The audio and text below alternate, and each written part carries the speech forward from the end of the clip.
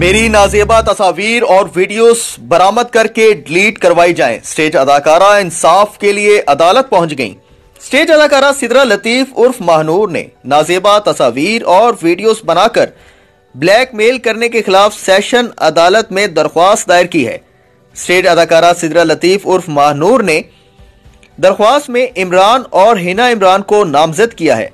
महानूर ने मुलजमान के खिलाफ इंदराज मुकदमा की दरख्वास्त दायर की है। दरख्वास्त में मौकफ अपनाया है कि मुलजिम इमरान ने शादी का झांसा देकर मुझसे ताल्लुकात कायम किए। ताल्लुकात कायम करने के कुछ अरसा बाद मुलजिम ने मेरे अतमाद को ठेस पहुंचाई, जिसके बायस मैंने ताल्लुकात खत्म कर दिए। ताहम, इसके बाद मुलजिम इमरान मुझे ब्लैक मेल करता रहा और अब तक ब्लैक मेल करता आ रहा है। मेरी तस्वीर, वीडियोस, मुख्तलिफ़ सोशल मीडिया वेबसाइट्स पर शेयर करता रहता है। ताहाल मुझे ब्लैक मेल किया जा रहा है।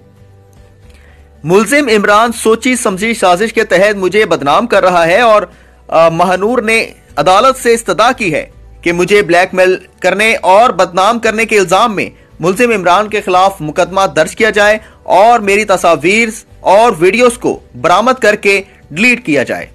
नाजरीन, हमारे चैनल को सब्सक्राइब करें, बेल आइकन पर क्लिक करें ताकि आने वाली हर लेटेस्ट न्यूज़ आपको मौसू हो सकें। अल्लाह हाफिज़।